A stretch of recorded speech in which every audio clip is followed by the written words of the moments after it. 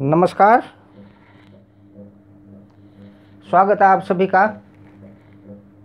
मैं हूँ मुकेश जानी मेरी चैनल पे आप सभी भाई बहनों का हार्दिक स्वागत करता हूँ। सभी के लिए शुभकामना, शुभेच्छा, भगवान भोलेनाथ। सभी की मनोकामना पूरी करे।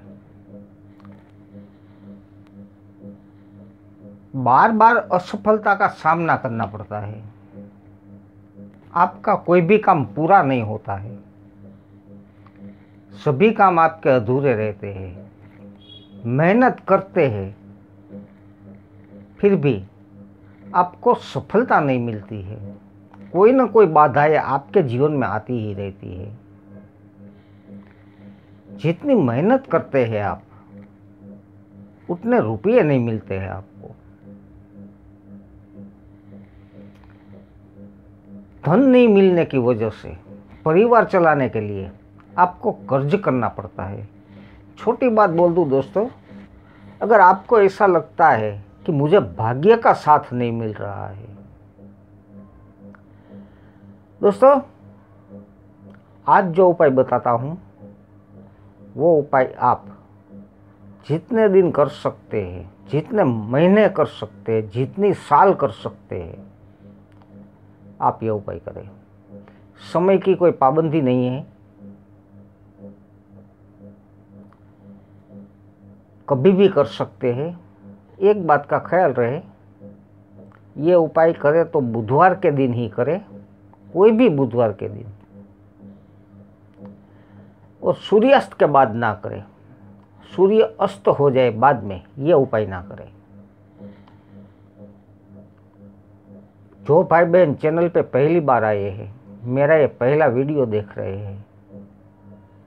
वो भाई बहन से नम्र निवेदन करता हूँ।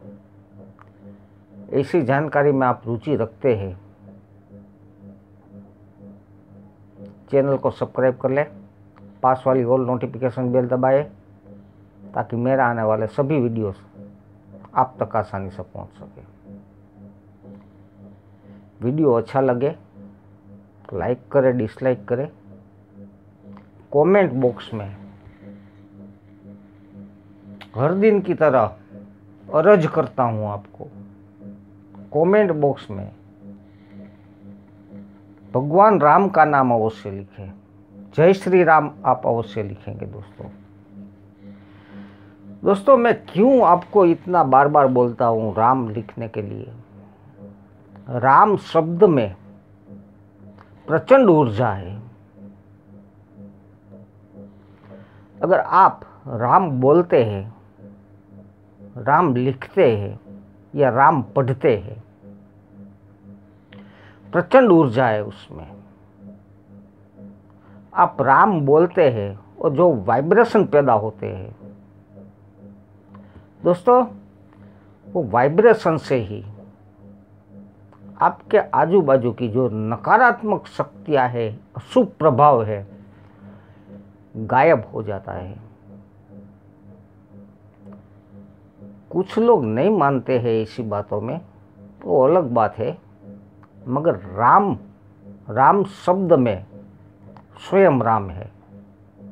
इसीलिए मैं बोलता हूँ, परिवार के सभी भाई बहनों को बोलता हूँ, आप राम लिखे, जय श्री राम लिखे। एक जो ताकत है, जो ऊर्जा है, राम शब्द की, राम मंत्र है, राम का नाम, राम मंत्र ही है। वो मंत्रों का, वो मंत्र की शक्ति पावर दोस्तों, ज़्यादा कुछ नहीं बोलूँगा, मगर आप कुछ बेहतर प्राप्त करना चाहते हैं। राम अवश्य लिखे कमेंट बॉक्स में ना लिखे, कोई बात नहीं, एक नोट ले लें नोट में राम राम राम लिखते जाए। ये प्रयोग करेंगे आप बुधवार के दिन, सूर्यास्त से पहले। स्नान करने की कोई ज़रूरत नहीं है। दीप जलाने की ज़रूरत नहीं है। मंत्र बोलने की कोई ज़रूरत नहीं है। दोनों हाथ पैर के आप नाखून काट लें। आपके सर के, सर में से तीन चार बाल यूँ नोच ले। तीन चार बाल नोच लेना है तीन चार बाल। सफ़ेद पेपर का छोटा टुकड़ा ले। आपकी जो भी समस्या है, वो समस्या एक छोटे पेपर में आप लिखे, सोल्ट में लिखेंगे। आपको धन की समस्या है, अभाव है धन का तो आप लिखेंगे दरिद्रता, या तो गरीबी। मैंने, मेरे पहले वीडियोस में, पिछले वीडियोस में बताया था, पुराने वीडियोस में, दरिद्रता संस्कृत शब्द है, अभावग्रस्तता। हमारे जीवन में जो भी चीज़ का अभाव है, वो चीज़ से हम दरिद्र है। दरिद्र संस्कृत शब्द है, दरिद्रता संस्कृत शब्द है, हिंदी में अभावग्रस्तता बोलते हैं इसे। दरिद्रता, गरीबी लिखे। धन की समस्या है। कर्ज बढ़ता जा रहा है।